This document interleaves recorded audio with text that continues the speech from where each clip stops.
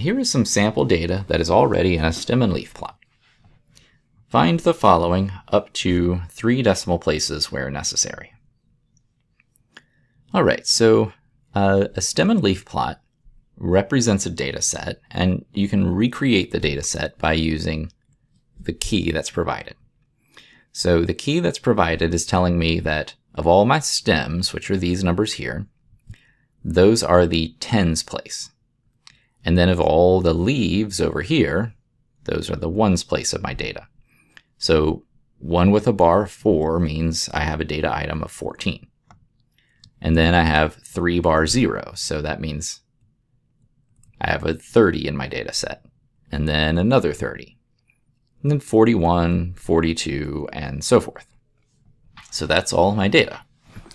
Now, to get the mean, median, and these other statistics, what I would need to do is start putting them into the calculator and let the calculator give me the values of those numbers. So to put them in the calculator, I'm going to go into the list editor. If you happen to have any data already in a list, just go ahead and highlight the name of the list, press clear and enter, and that will remove the items from the list and just start entering your data one at a time, taking care to make sure you get the right items in and not to skip any because data entry errors uh, will certainly lead to calculation errors. So be very careful there.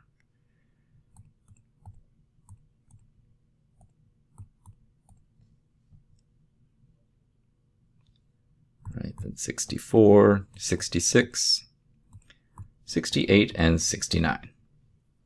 Now, all of my data is n, and in order to find uh, the mean, median, and the standard deviation, I'm going to use a function called onevarstats.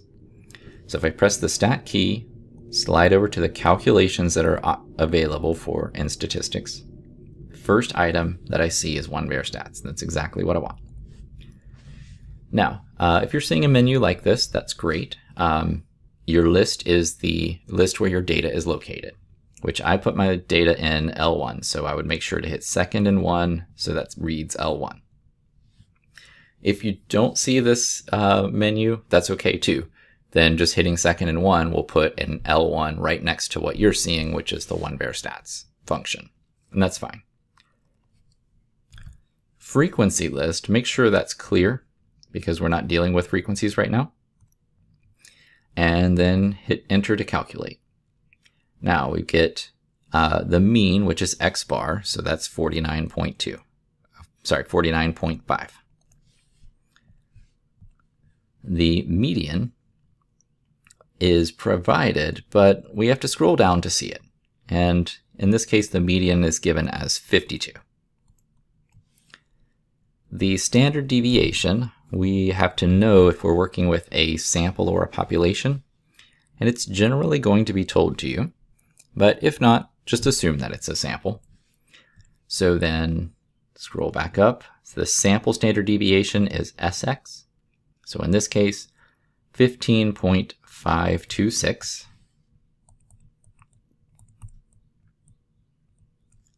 Oops, 526 and I'm just following the rounding rules provided. The range, the range is your maximum data entry minus your minimum data entry. And the calculator doesn't give you the value of the range directly, but it does give you the minimum and the maximum. So you can take 69 minus 14 and obtain the range from that. So 55. And lastly, what is the shape of this data? So symmetric, left skewed, or right skewed. In order to determine that, just think of your, your picture here as a histogram where you have frequency bars wrapped around each of the data items.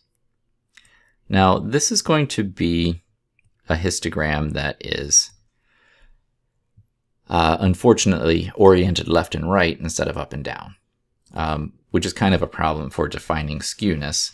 So you might want to just kind of resketch it real quick and change the order.